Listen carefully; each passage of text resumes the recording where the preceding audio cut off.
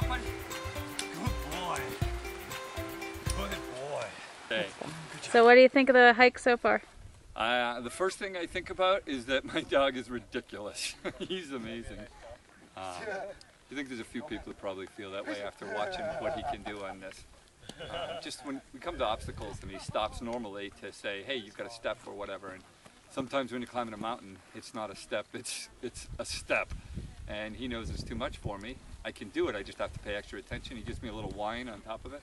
I don't train that at guide school. That's just his devotion and dedication to the task. And I feel awful about it, except as everybody can tell me constantly, the tail is uh, is a constant breeze that probably is what's powering Mount Washington's winds right now because he's uh, he's a pretty happy pup with his work. So that's what I first think is how great it is uh, to have a dog like Quinn. Secondly, I guess if I had to uh, sum up, I have some euphoria of my own because that's that's no small challenge for me either. Um, and every time you accomplish something that's pretty rough and, and reflect back on the fact that you're doing it, in part because you get yourself out there to find out what you can do. That's that's a feeling you can't replace, and I'm certainly